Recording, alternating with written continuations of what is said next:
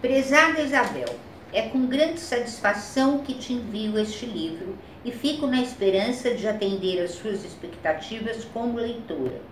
Escrevi este livro através do pseudônimo Rebeca com uma intenção, ajudar as pessoas. É a cartinha que a autora desse livro mandou para mim. O livro é Misoginia, tá aqui na minha mão, da Rebeca Uccelli.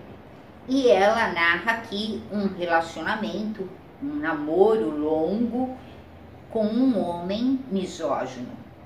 Claro que no começo ela não sabia disso, né? E então por isso que ela usou um pseudônimo e não quer aparecer em público, porque é uma história bastante íntima e bastante triste.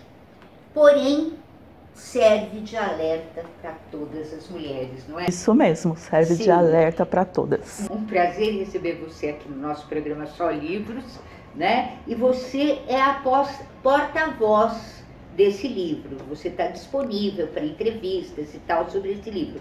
Por quê?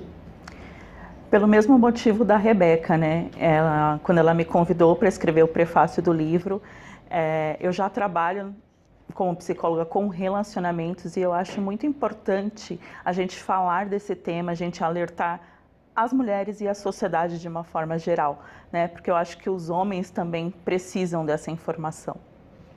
Sim, e que o que que vem a ser, para quem não sabe, um misógino? O homem misógino, ele é uma pessoa que odeia as mulheres, que tem uh, uma angústia de viver com as mulheres, né?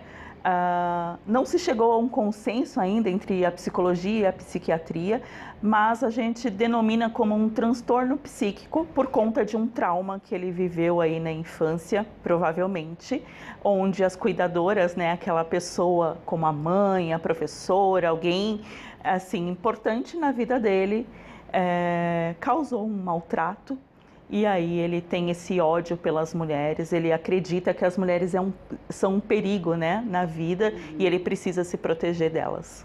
Agora, você é psicóloga clínica, né? faz psicologia cognitivo comportamental. Como você explicaria esse trauma, essa coisa? Por que um homem se tornam odiantes, será que eu posso usar essa palavra, das, do sexo feminino? Além disso, né, desse, de, desse trauma que ele vive na infância, eu acredito que o sistema de crenças que esse homem traz dessa infância, onde ele aprendeu lá naquela família é, sobre o amor ou sobre como os pais se relacionavam, né? Como o pai tratava essa mãe, as, as, irmãs, por exemplo. Então eu acho que tem muito a ver com isso. E aí ele vai formando esse sistema de crença ao longo da vida e a crença dele é uma crença onde as mulheres são um perigo para ele, né? Ele precisa se proteger delas. É uma ameaça, né? Uma, uma ameaça. E como é que essa misoginia se expressa, se manifesta? Bom, o homem misógino, como você disse aqui no início, é aquela pessoa, o príncipe encantado, aquela pessoa que todo mundo gosta, que todo mundo ama, ele é respeitado no trabalho, mas ao longo do relacionamento você vai percebendo as manipulações que ele vai fazendo com essa mulher que ele está se relacionando, né? São manipulações de diversos tipos até se chegar à violência física. Uhum que tipo de manipulação, assim?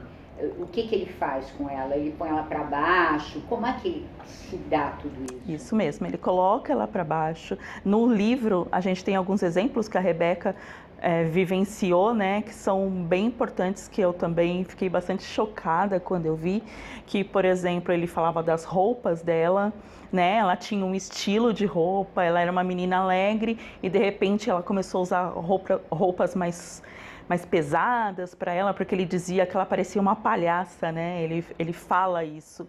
Então, essas manipulações é, do emprego dela também, quando ele fala para ela assim: ah, mas você não vai conseguir entrar numa faculdade e ter um emprego melhor.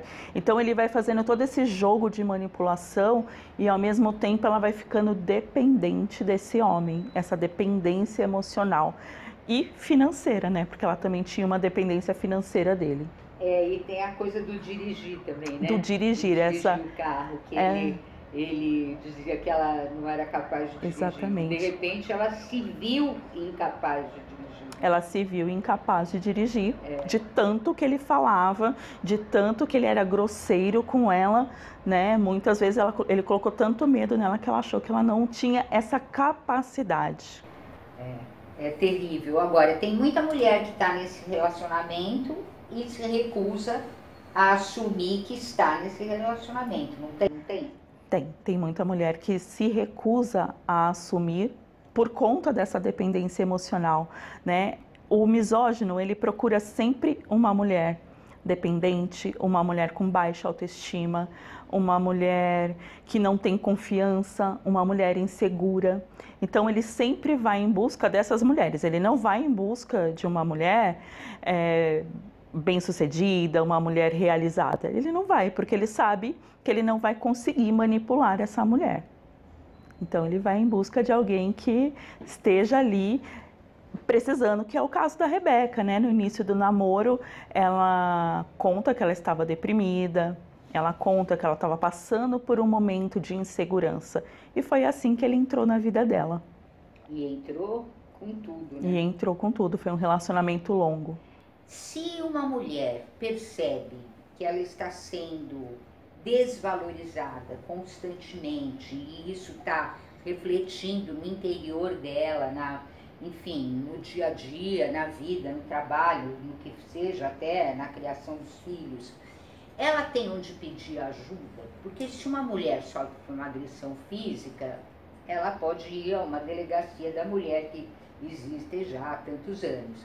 Mas esse tipo de violência psicológica, onde essa mulher vai encontrar ajuda? Infelizmente, hoje no nosso país, a gente ainda tem um preconceito muito grande em relação à psicologia e à terapia. Né? O ideal seria que essa mulher procurasse ajuda de uma psicóloga, de um psicólogo, né, que pudesse ajudá-la nesse momento. Mas se eu posso deixar um recado para essas mulheres, procure uma amiga, um familiar, procure essa rede de apoio em primeiro lugar, para que ela tenha recursos emocionais até para conseguir procurar uma psicóloga e um psicólogo, que é tão importante para que ela consiga se recuperar dos traumas que provavelmente ela vai trazer desse relacionamento. Ok. Misoginia, o lado obscuro de um relacionamento, de Rebeca Uccelli, muitíssimo bem representada aqui pela psicóloga Silvia. Silvia, muito obrigada. Foi um prazer estar aqui com você. Muito obrigada pelo convite e por estar falando aí desse tema tão importante para a nossa sociedade. Obrigada. Programa Só Livros volta